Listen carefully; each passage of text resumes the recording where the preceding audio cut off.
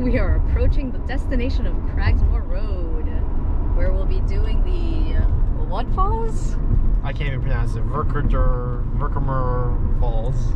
Really cool falls with a really cool waterfall at the end because of the rains we've been having.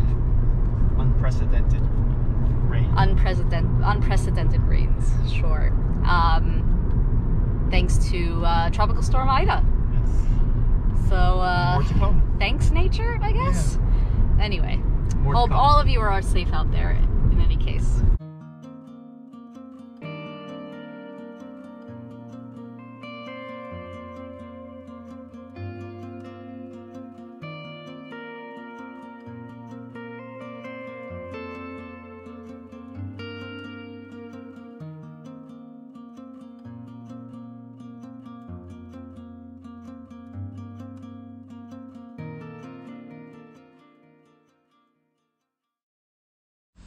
This here is the parking area. It opens up at 9 o'clock in the morning. And there's a decent amount of parking here, if you can see.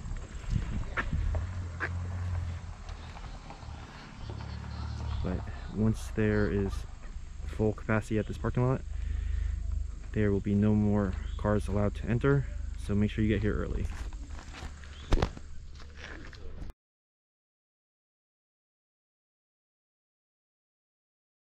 Okay, great. Yes. Okay. Your name? Doug? D-O-U-G, light body is L-I-G-H-T, U-Z-Y.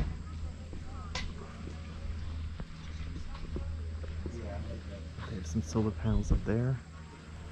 It's a very efficient, eco-friendly area. Three five zero, six nine one seven. And this is over here. You come to pay to get the permit that you put in your car's dashboard so people can see that you're you're actually allowed to park here. It's very quick, easy. You can use the Empire Pass. Cashier takes credit cards. This is the inside of the visitor center. It's pretty like a nice activity area over here for kids. They have some cool taxidermies. They're taxidermied.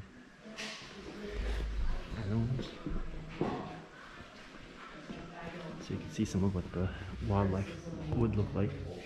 This is a porcupine. Looks like a bobcat. This is a fisher. Yep, shoe right down the shoe right there, right you see on your dashboard, and there's a map right there. snowshoe hare. This is what the timber rattlesnake looks like. We have some juvenile turkey vultures. There's some turkeys up there. I'm gonna point something out though. Just remember, Seems like a predatory bird, maybe a turkey vulture. I A think hawk. he's not, let- he's not challenging me on, on uh, leaving at four on Friday, so I'm shutting up right now. Woodpeckers. No, I asked him, I spoke to him because I had talked about the trail system, because Eric wanted to close, and I didn't think it was a good idea, and he agreed with me, so it was good. And Daphne Kristen thought I made a bad, uh, made a bad move, so, uh, but anyways, so I said, eight o'clock both days, or seven thirty Monday. He said, slice it or dice it any way you want. Actually, everything, I don't carry carry out time, so we ask people to please refrain from the phone. Oh, okay. You're welcome.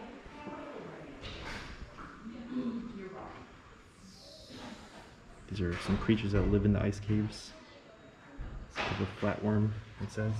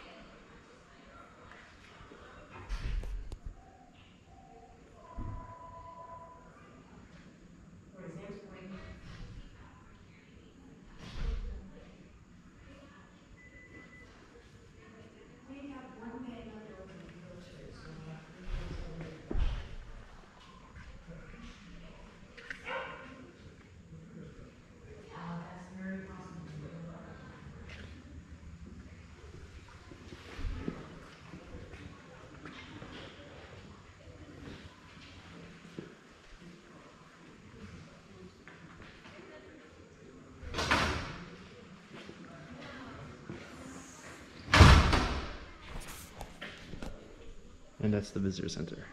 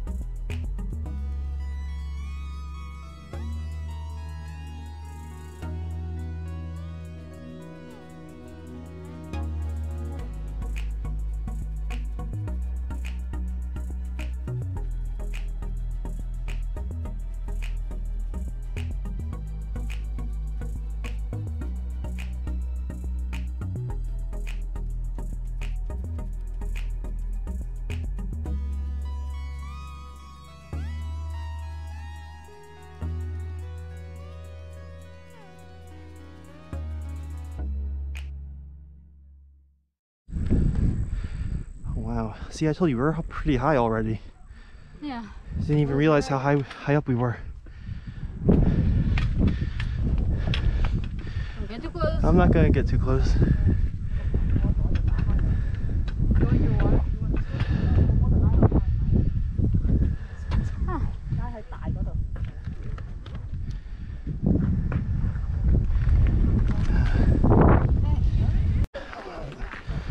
That's to the overlook, Sam's Point. But I don't think we're doing that trail. No. Uh, frankly, it says nothing about where we're going, but I think ice caves makes more sense, right? Yeah.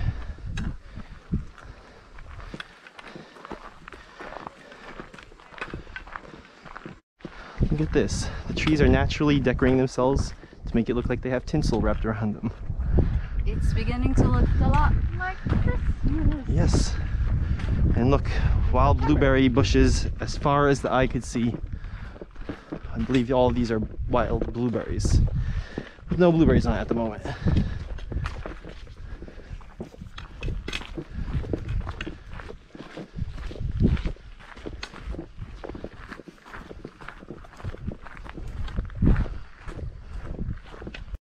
It does say to the ice. Yeah. But you're right, it does look apocalyptic with all those trees burned like that and Holy everything. moly! in the visitor center they were talking about how the environment is designed to be burning and everything like that Okay, same way as the ice caves. oh yeah and this is the loop road if we were to go straight ahead this way Okay. so It's called the. Verkeerderkill Falls. Let's see here so we are here at this juncture and now is where we start at this juncture here for the ice caves so now we're going to follow along this We think. Yes. Right, let's go.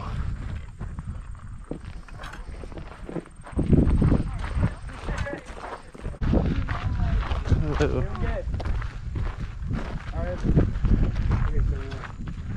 Falls are that way and the caves are this way? Yeah, exactly. So keep going down there for the caves. If you're trying to do both, I would say do the caves first. Yeah. And then after that, see how you guys are feeling. Then check out the falls. Cool, Main thing yeah. with the falls, you're gonna be out in the sun the entire time. There's no, there's no tree coverage. All right, cool. Unless you're nice enough to give us an umbrella and then we could walk. Yeah. This is mine. Oh, okay. Right now, vibe, so, This is how we brought the. This is how we brought the sun. Then Alright. you know what? I think it's time for sunscreen. All right. So it's in the top um, zipper. It's it's only 1.7 miles away, but it's gonna feel way longer because it's not much up and down, but there's just a lot of rocks along Mm. the trail. So just take your time, be careful. Is it a paved foot uh, path? Like this? No, so it's like an actual trail. Oh, So you can actually see it. It starts right out. over Oh, okay. Again, not much up and down, but just a lot of like rock hopping. Yeah. Yeah. So it's not like Rock this, okay. hopping, you said? Yeah. So Any steep areas we need to watch out for? uh, I would nothing really. I would say if you keep going after the falls, there's one steep incline, but. Again, Nope. the, main, the main thing is just a lot of rocks, Mhm. and you're gonna be out in the sun. So Okay. just make sure you drink a lot of water. Yeah, we're prepared. alright. And the the falls, there's uh, several viewing platforms, or So there's one main viewing platform. I think there probably is another, but like you'll see it. You'll start hearing the falls when you Yeah. get close, and then you'll see a sign for like the trail. If you go to the right instead of going left, there's a viewing platform. oh, goes for to the right. Okay, cool. But it should be flowing pretty well. I was there two days ago. Yeah, that's why we decided to do this today because we were like, gotta Well, catch all the wa- uh, water Actually, coming down. Uh, on that point, anything we need to watch out for, like in terms of floods on the way there? Uh, or... so it should be. Before it was kind of flooded, Mhm. but now it's it should be better. But up. just be ready to get a little bit wet. But Okay, okay. there's like one straw creek crossing, but it's nothing crazy. But if you guys are wearing boots, you should be fine. Yeah, you're good. Okay, cool. And there are rattlesnakes in this area, so just stay on the trail Oh, okay. And avoid them. Yeah. Best way to avoid them. Are they Yeah. big? Uh, it depends on the size, but again, you probably won't see them. But it's more of a Are Yeah. they noticeable if we do? if you notice them, they'll they'll see you first. Okay. They'll probably make a noise, Okay. but that or they're sleeping on a rock. Yeah. Again, usually they're off trail. You're gonna see them. Okay. Stick on the trail then. Yeah, exactly.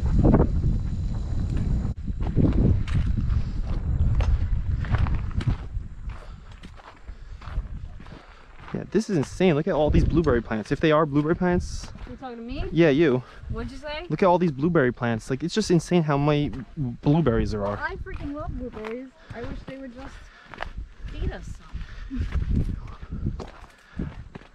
Well, next time when we're uh, hiking and it's in season, then we could just pick them. this one place, blueberry? I don't know. yeah, When do they grow? uh, in earlier in the summer, really? So Yeah. they're actually all dead? in in July, Dad and I were at uh, in Harriman State Park um, fishing, and this guy, we were like, "What's he doing?" He's walking his dog along the uh, the the lake, Uh-huh. and he's just like picking at this bush, but it was huge. It was like the size of a tree. And I'm like, "Well, what's he doing? What's he doing?" Turns out it was a big, huge blueberry bush, as tall as like my dad is, Whoa.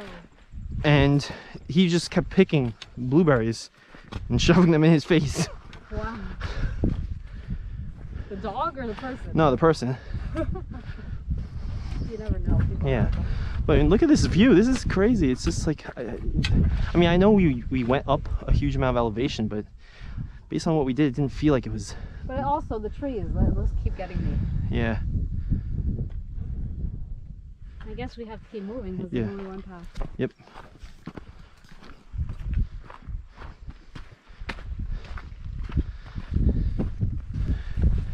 Feels like Frodo and Sam from Lord of the Rings were walking into like the. You have the ring, I don't have any. No, I don't have it today. Don't want to lose my ring. But walking into like the desolate area with all these trees.